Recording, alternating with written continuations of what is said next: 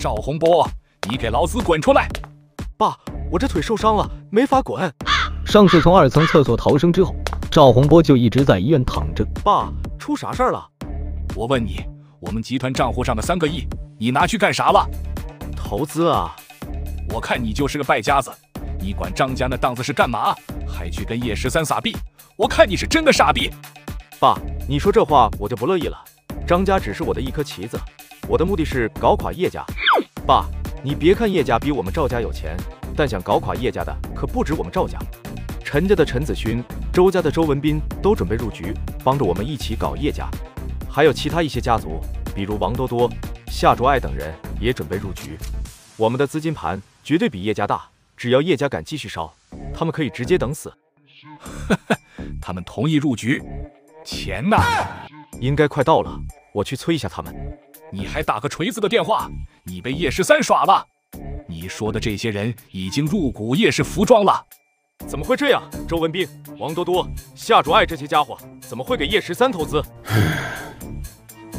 从今天开始，你在家族的特权被我取消了，每个月给你两万块的零花钱，你好自为之吧。爸，你听我解释，我还可以。好你个陈子勋、周文斌，敢耍老子，老子要弄死你们！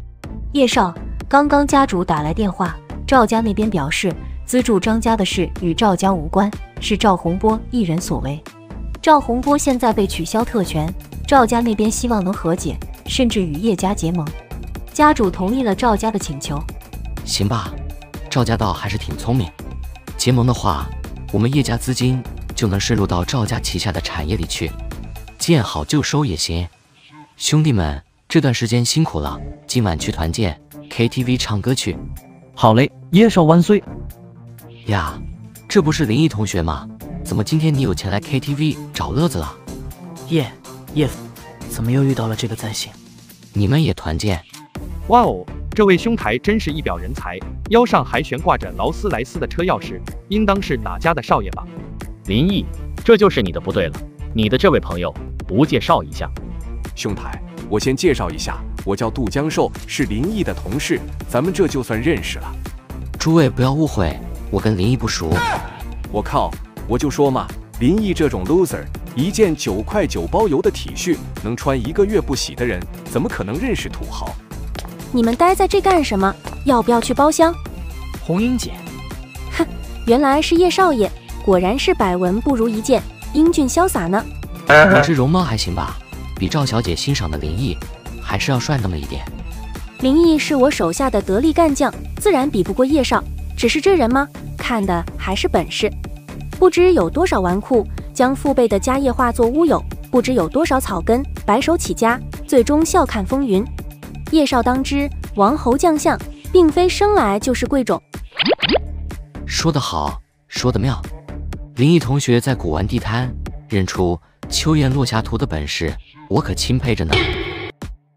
秋雁落霞图的事，我好不容易快忘了，你又旧事重提，真当自己老实人好欺负吗？秋雁落霞图，这事居然是真的！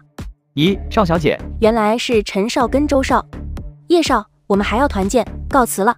希望日后能有机会合作。叶少，我感觉赵红英这女人似乎对你有意见啊。人家青睐的是林毅那种才华横溢的人，我不行，我只有钱。叶少，别装逼了，你特么哪方面不比这林毅强？我看赵红英这娘们。单纯的就是家族被你搞亏了钱，所以怀恨在心。其实叶十三也没有说错，原著中赵红英确实欣赏有才华的男子，才会被林毅所征服。哪怕是同父异母的哥哥赵洪波，别林毅弄死在了厕所里，他也不惜与父亲为敌，死保林毅。最后，他竟然还放下一身骄傲，跟白苏苏一起嫁给林。